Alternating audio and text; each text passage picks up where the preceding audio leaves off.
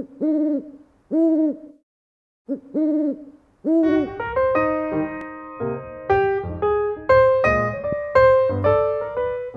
and welcome. I'm Cara from the Hooting Pirate, and this is my oh my god, where do I start?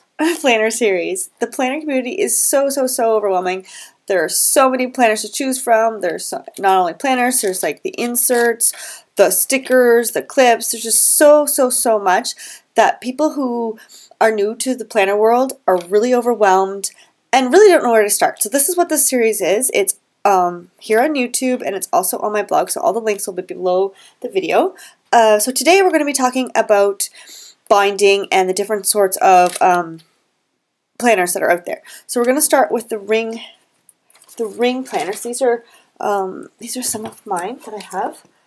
I don't use all these. These I bought these to help with teaching. So these are um, just sort of the basics the basic things that most of the ones that you're going to find are going to be similar to this. So this is this is the one that I, of these that I actually use. It's my I use it as my wallet. It's a Gillio, and you can see that not only does it have a wallet, but it has um, um, the ring system. So the first this is the first section is the classic ring binder system and most of them will have the six and if you notice here the six are all in a row because it's so tiny this is a pocket size but here you can see that the rings are in sets of threes, and that's pretty, pretty common. So I'm just going to show you the insides of these really quickly. Um, and this one is a Dokibook. It's the same as the other one. This is a Carpe Diem, and it's a bit bigger. It's an A5, so it's actually quite quite large when you get it open. And again, it has the 3 and 3. And this last one is, I actually do use this one, but it's not for planning. It's actually a memory keeper. And this is my Heidi Swapp memory um, planner, and it has four, so it's two sets of two. So let's go into, oops, things falling out. Let's go into the pros and cons of, um, I'll just leave one open so you can see, uh, of a ring, a ring bound planner. So this is, this is just done, but the planner is actually empty. I don't use this. I'm just going to use it as an example. So the biggest pro with this is that you can open these rings. Oh, those ones are tough. This is a new planner. Is that you can take stuff out, move it around. Okay, I don't like this brand new day at the beginning, for example, so I can easily take this out and let's put it in March. And we can just open it up and put it in there. I mean, that doesn't look really good there, but you, you get the idea. You can move pages around really, really easily. Okay, so next pro is, I'm going to actually put it back because I like it in the front. Um, the next pro is if you don't like the inserts that come with the planner, and inserts are like the pages that you actually write on. If you don't like these inserts, then you could change them out. You can buy your own, you can print your own, you can do whatever, and you can change them out. You can also change um, the, the dashboards out. You make your own dashboards. You can change the dividers. Anything that's in these rings, you can change. Um, yeah, because my Gillio it came with these really thin, um, like tissue paper thin pages. And they were yellow and they were just cluttered because it's in Belgium and in Europe there's a lot of different languages. So they had, I think, four, four different languages. It was just really cluttered. So I actually printed these off and made them myself. So that's what you can do. And also, let's say it's really fat and really full and you you're having trouble closing it, for example. What you could do is say, okay, after June, I'm going to take all these pages out and make it thinner. Or if you want to say March is a busy month and you want to stick stuff in, or just anything, you want to stick any extra pages in, any extra dividers just because they're pretty, you can do that really easily because the, the ring's just open, you can add stuff. Alright, let's go to the cons. Um, it does not full back. Well, it does, but not very easily. It's very bumpy. It bumps up. It does not fold back on itself easily. Depending on the planner, this one has sort of a rounded spine, but like this one, for example, has like a square spine.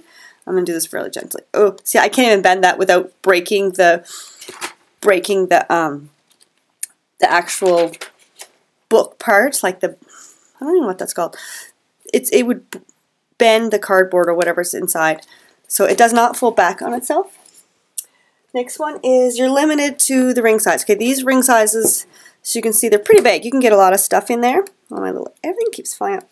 Um, you can get a lot of stuff in those rings, but and these ones are actually pretty hefty.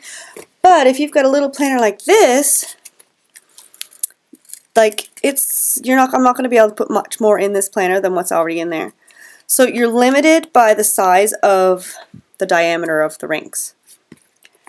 Um, also, the rings in some planners tend to get banged up. You can have end up with a um, like I my finger behind it. Can you see the space between? Sometimes they don't close properly, or they get bent and they'll end up closing like my fingers. My. There, you, um, they don't close properly, or they're bent, or um, there's none in that one, but this one has those mechanisms to open it.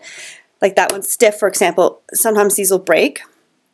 One thing that I want to tell you is the Gillio, but it, I mean, that happens when you have, when you invest in a in a high priced planner, is you can, these rings come out and you can order new rings for the Gillio, but not in a lot of other planners. Um, and some planners, what if I have one?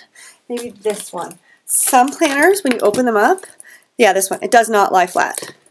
Like, if you have it open, but you can see, like, I can still my hand all through it. So, I mean, you can work the leather and get it to lie flat, but for the most part, if that if that bothers you in the littlest bit, it's gonna, it could be a, um, it could be a negative. So you could work it and it will lie flat, but um, yeah, that would bother, kind of bothers me, but it might not bother some people. All right, um, so that's basically it for the pros and cons for um, a ring binder. Let's move on to to coil bound. So this is a coil bound planner. Oh, it has a sequin. And it is my Commit 30, which actually I bought. Um, I should show you really quick. I bought, but because I'm left-handed, which is one of the, the cons, I can't use the ring. So what I did is it comes with free um, free PDFs for you can you can print your own. So I'll just show you the layout of the pages. See, so I just printed them out and sewed them together. So I didn't have to have the coil. So I just want to show you, this is my main planner, but I don't use this actual version of it. Okay, so um, the pros. Let's start with pros. It folds back on itself. I love that. Um, and also lays flat when it's open, either folded back or this way, completely flat. There's like no way I'm getting my hand behind there. Uh, you can um, um, oh sorry, I was looking at the wrong thing. if you have a notebook, uh, like a planner that has really small rings, like the, the diameter is really small, you're going to end up with a nice slim planner. This one's actually pretty chunky, but you can get ones that end up being really, really thin. Um, maybe if you just have a couple months in it at a time. And um, the cons for this is that coils tend to bend and get warped really easily. You also have, this one's pretty good, but sometimes in the, you know, if you get like a cheap um, notebook or something, the end will stick up. Like, where's my end? You can kind of see it there, but it's in there really deep. But sometimes when you um, get the cheap ones, they'll snag on stuff. And if they get bent, then when you go to turn the pages, it's, it's kind of sucks. Um, you cannot move pages around e easily. There is a little workaround. Of course, you can, um, okay, I'm just going to tell you the second con and then I'm going to do this demo together. You can, um, you can't really remove or add pages. Now, I have a workaround, but of course, you can remove a page, you can rip them out, but you can't remove it and save it for later, unless you want to be really...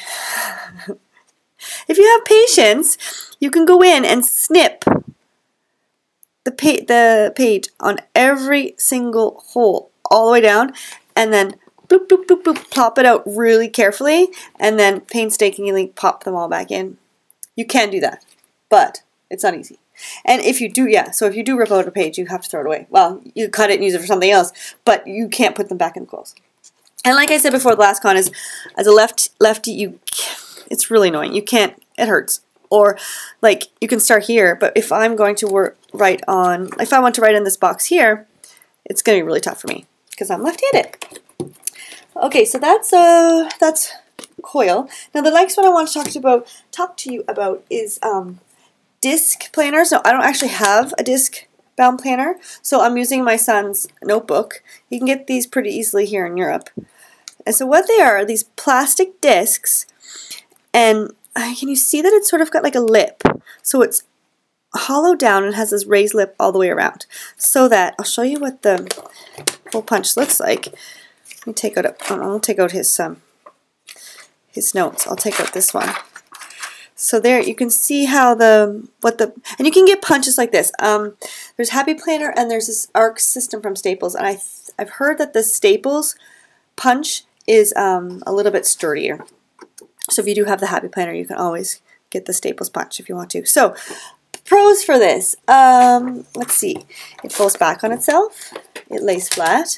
You can, oops, I, oh, I didn't put that back in right. Sorry. Um, you can move pages around. It, you know, it's kind of, um, you have to plop them in each.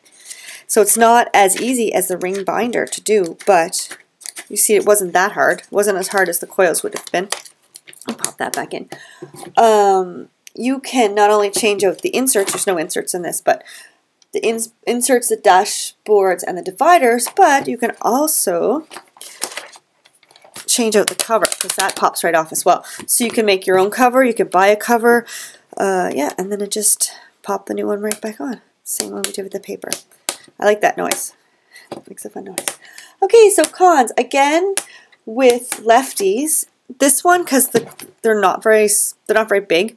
Like the Happy Planner ones are quite a bit larger, and so are the um, the Staples ones. I think they come in different sizes, but like I said, I don't have one myself. So the bigger they are, the, the harder you're going to be able to get to the left-hand side of the right-hand page. Um, the discs can tend to be really bulky, so when you open your book like this, the discs stand up really high from your book. And these ones are sometimes like I don't know if you can see on video so much, but so you can see right through. These aren't like the sturdiest um, things. You can't get metal ones, but these little plastic ones are kind of cheapo.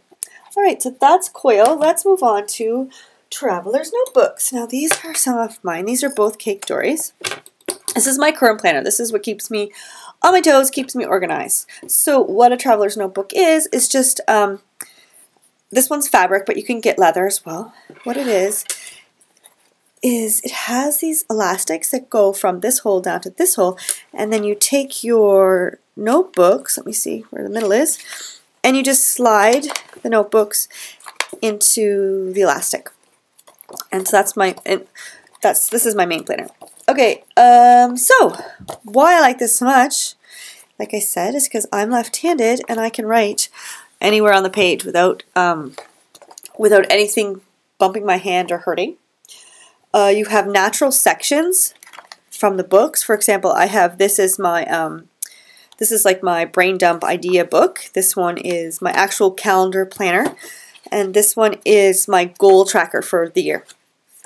So I just have the three in there for now, but like at Christmas time, I had a Christmas one in there, and um, different. If I have different projects, I will add the um, I will add the a book just so it has natural sections. And also, this is one thing I really like. These pages are A5. This is a regular computer paper. Well, actually, it's thicker, but um, it's computer paper size. It's um, it's A4. It's not 8.5 by 11 if you're in the in North America, but it's basically the same thing. So when I fold the pages in half, they're A5. Now, if I was to have an A5 um, planner, a ring-bound planner with A5 pages, you can see the pages are ba basically the same size. Um, if I lay one beside it. Um, you can see the pages are pretty much the same size, but the size of the planner is a lot different. Like you can see it there, and if I lay it open, um, you can see that there's quite a lot of difference. So with the Traveler's Notebook, I can have the A5 size page without the big bulk of the ring, the rings. Oops, sorry. Um, and I'll show you, this is a personal size. I can show you here um, the difference in personal. And look at the size difference of the pages. The pages are, are get you one that's white. The page size, sorry, the page sizes are way different. Okay, let's go into the cons. So there's not, for me, there's not very many. Um, you can't move pages around. Of course, you can rip them out, washing them back in. But yeah, it's not easy to move pages around. And you can't, in the same way, you can't add and remove pages easily. So there you go. I hope you, um, I hope that sort of helped you decide what planner you want to buy.